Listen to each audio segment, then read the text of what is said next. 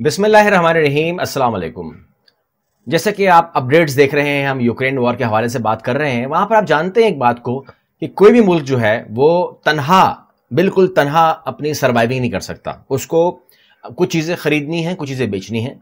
कुछ लोगों को भेजना है, कुछ लोगों को मंगवाना है। कुछ अपनी ज़िंदगी अकेले नहीं गुजार सकता। जिस तरह माशरे में एक इंसान जो है, वो अकेले नहीं रह सकता। मतलब एक ही इंसान जो है, ऐसा नहीं हो सकता कि वो हर चीज़ खुद ही कर ले। यानी कि पेट्रोल भी खुद अपना ईजाद कर ले कपास भी अपनी खुद निकाल ले, कपड़े खुद बना ले अपने, और गंदुम भी खुद उगा ले। ये नहीं हो सकता। उसको चाहिए दूसरे इंसान, जो वो काम करके दें उसको। इस तरीके से माशरा चलता है। अब जब दुनिया की बात करेंगे, दुनिया भी इस तरह चलती है कि एक मुल्क दूसरे मुल्क के साथ ताल्लुकात रखता है। लेकिन यहाँ पर जो अब स्कीम बनाई गई है, अमेरिका की जानब से, वो ये है कि अमेरिका ने प्लान किया है कि क्यों ना हम बजाय जंग करने के या बिल्कुल एक हॉट वॉर में घुसने के, हम तनहा कर दें।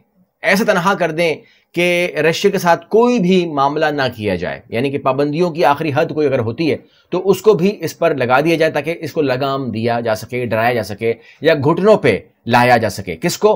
प्यूटन को।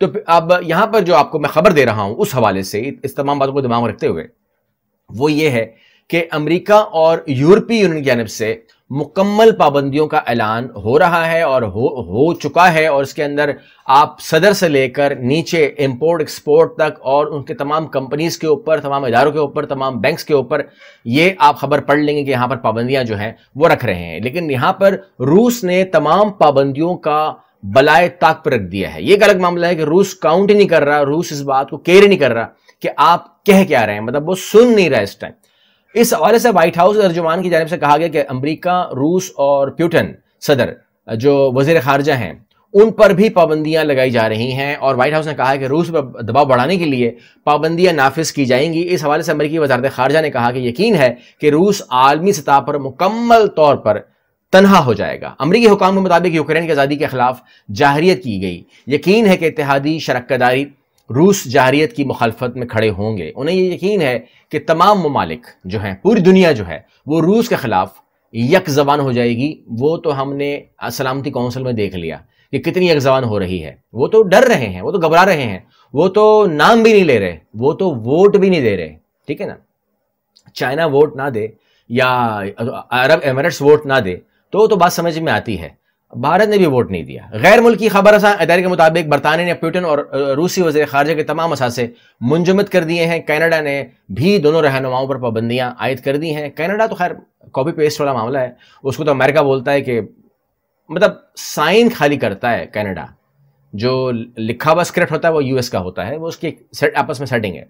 दूसरी जानब रूस ने इन पाबंदियों को मगरब की कमज़ोरी करार देते हुए कहा। उन्होंने कहा, जो हरकतें कर रहे हो ना, ये तुम्हारी कमज़ोरी की अलामत है। ये जो पाबंदियाँ तुम लगा रहे हो। तो मगरब के साथ ऐसी लाइन पर पहुँच चुके हैं कि जहाँ से पॉइंट ऑफ़ नो रिटर्न शुरू होता है। मगरब अब बचाए अपने आप को, देखे अपने आप को। इसके अलावा कनाडा ने रूस के अट्ठावन इदारों और अफराद पर पाबंदी आयद करते हुए एक्सपोर्ट परमिट कैंसिल कर दिए हैं। जो जस्टिन ट्रोडो है, उन्होंने रूस को आलमी अमन के लिए खतरा भी करार दिया है और रूस को भारी कीमत चुकानी होगी, ये भी उन्होंने कहा है। इसके अलावा जो अगली खबर आपको दे रहा हूँ, वो ये है कि नेटो आज यूक्रेन के लिए फ़जाई दिफाई निज़ाम का ऐलान करेगा। चलें, ख्याल तो आया, कोई मीटिंग वर्चुअल तो इनकी हुई है और वो कह रहे हैं कि जी, हम क्या करेंगे जी? हम इनकी जो दिफाई निज़ाम है, उसको बहाल कर देंगे। और इससे जो है तब्दीली रुक जाएगी, गवर्नमेंट जो है वो बच जाएगी। लेकिन गवर्नमेंट बचने के साथ साथ आपको मैं खबर ये दे देता हूँ कि जेलेंसकी जो है वो अपने तई राज़ी हो चुके हैं मज़ाक के लिए। और वो कहते हैं कि अगर बात करनी है तो बात करने के लिए तो उसने पहले खुद भी कह दिया था और उसने अमेरिका, जो यूरोप के सत्ताईस यूरोपीय ममालिक हैं, उनको भी फ़ोन किया था। उनके भी सहमे सहमे डरे डरे से लहजे थे कि हम देख रहे हैं, सोच रहे हैं, परेशान मत होना और फ़्लाइट भेज देते हैं, तुम भी भागो यहाँ से, हम भी भागते हैं। तो वो उन्होंने कहा कि सब डरपोक हैं। सिंपल से उसने कहा था कि अमेरिका को लेकर अमेरिका समेत ये सारे मुल्क डरपोक हैं और बुजदिली से उन्होंने बात की है मुझसे। मेरी सपोर्ट किसी ने नहीं की। और ये जो जेलेंसकी है अब इसके बाद अगर मामला हल हो जाते हैं और इसकी हुकूमत बच जाती है इसको ज़िंदगी मिल जाती है के एफ़ के मसले हल हो जाते हैं तो क्या ये उसके बाद इन बुजदिलों के साथ आ, रहना चाहेगा? नेटो का हिस्सा बनना चाहेगा? मालूम नहीं है। लेकिन अगर मैं तास न्यूज़ को भी उठाऊं, जैसे कि आप देख रहे हैं तो वो भी यही खबर दे रहे हैं कि जेलेंस्की जो है, वो एक्सेप्ट किया है पुटिन की proposal ready for peace talk अब उसके अंदर हो सकता है कि वो कहते हैं हम ओपनली सरेंडर नहीं करेंगे, मगर हम जंग ख़त्म करने के लिए कोई तीसरा रास्ता निकालते हैं। और हो सकता देखें यूक्रेन के अंदर रूस को एक ऐसा इंसान चाहिए कि जो रूस की बात माने प्यूटिन की बात माने। ठीक है ना? वो कठपुतली ना बने नेटो की, वो कठपुतली ना बने अमेरिका की। एक खुलासा बता रहा हूँ मैं आपको। इतनी सी उसकी ख्वाहिश है। अब अगर वो जेलेंस्की बन जाता है तो मसला हल। अगर ये नहीं बनता तो दूसरे को बैठाया जाएगा। तो दूसरे को बैठाने के लिए जब वो सिक्योरिटी माँगता रहा तो किसी ने नहीं दी। तो उसने कहा कि ठीक है, हो सकता है कि ये शख्स उनके साथ मिलके मेरी सिक्योरिटी थ्रेट करेगा। तो उसने कहा इसको हटा देते हैं। और फिर कीव में नहीं जाएगा तो कहाँ जाएगा वो? वाशिंगटन थोड़ी जा रहा है, रशिया। वो कीव में आ रहा है। तो कीव में आने का मतलब यही होता है कि आप पुराने जमाने में अगर आप देखें तो किले फतह होते थे। आप किला फतह कर लें तो आपका इलाका वो हो गया ऑटोमेटिकली पूरे इलाके के अंदर आपको खून बहाना। जस्ट अपने ऐलान करना है कि ये किला मेरा है। किला मेरा है मतलब ये पूरा इलाका मेरा है। या ये पूरी रियासत, अब रियासत तो नहीं कहना चाहिए, लेकिन ये पूरा एरिया, या पूरा इलाका अब मेरा है।